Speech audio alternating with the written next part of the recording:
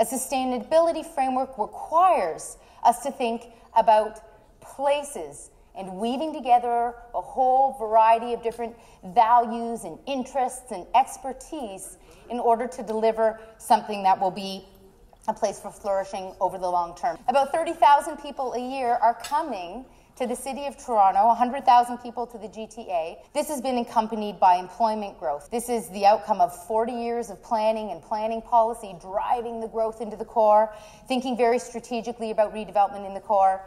It's resulting in a very desirable place to live. And we know that with our buildings and how we move, those two factors with respect to each of our individual environmental footprints are the majority of the impact that we have on the environment 95%.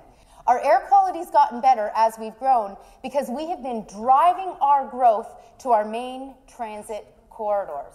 And in this instance, the opportunity is to use the transit as a way of facilitating a whole variety of different modes of movement. The lowest cost way to move people in a city is creating walkable communities. And then the most costly way to move people is by putting each person in their own car. 75% of the population in downtown Toronto either walks or cycles to work. Now you add in the transit users, and you have very few people in that downtown core that are driving. Youth are moving into the downtown core, and now we're starting to struggle with the problem of families and how you raise families in condos and in a very urban environment. 22% of the rush hour traffic in the GTA is parents driving their kids to school. Maybe what we need to do is be increasing the daycare spaces, providing spaces for artists in our schools as the school population, the number of school aged children ebbs and flows. But instead, we treat those schools as an asset to be sold. The infrastructure that you see here, most of the time, all day long, it's unused. And also, there's really only one way to get around here. You pretty much need to own a car. So we need to think in a different way about our infrastructure and the long term operating cost of that infrastructure and the adaptability of that infrastructure. We have a $2.6 billion gap just to maintain existing social housing units. We need to change the way we think about transportation planning if we're going to create sustainable cities. It'll be thinking about how we use low impact infrastructure that's good for our health and good for our communities and good for our economy.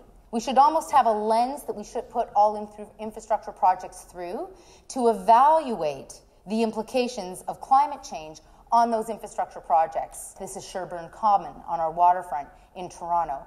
This is hard working infrastructure because it's public art that's also a filtration plant. Infrastructure can't do just one thing. It needs to do a whole variety of things and meet a whole variety of those shared interests. The shared interests that we need to coalesce around in order to plan in a fundamentally different way. The extent to which we do that will determine the change that we see. There's a great risk if we don't plan our city for all. And the image that you see on the screen here is, a, is Regent Park. It is so profound because it's using a market-based model of redevelopment to redevelop community housing to ensure that there is housing, good housing, for all. And it's been complicated.